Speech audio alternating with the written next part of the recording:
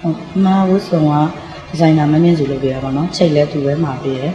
အဲလောကလက်စားကတော့ The Lady Chair ကစပွန်ဆာပေးရပါအမကမနစ်ကမတက်ဖြစ်ဘူးနည်းနည်းလဲမတက်တာကြာသွားပြီဆိုတော့ဒီနှစ်ကခီးလည်းမသွားပြဘူးရန်ကုန်မှာလည်းရှိရဆိုတော့ ਨੇ တက်ဖြစ်တာပါဟိုကိုယ့်ရဲ့မောင်နှမတွေအကုန်လုံးရစေချင်ပါတယ်တော်တဲ့လူတွေလည်းရစေချင်ပါတယ်ကြားနေရတော့ချွန်းချွန်းရယ်မြင့်မြတ်ရယ်ကိုလူမင်းရယ်နော်ကိကိရယ်တက်မွန်ရယ်အဲ့လိုတော့ကြားနေအောင် ဟုတ်ကဲမြေအများကြီးရပါစေရွှေရှင်မှာလည်းဒီရမကအောင်မြင်ဒီရမကကောင်းတဲ့ကားတွေအိုက်တင်ကောင်းတဲ့မင်းသမီးတွေမင်းသားတွေအများကြီးထွက်ပေါ်နိုင်ပါစေ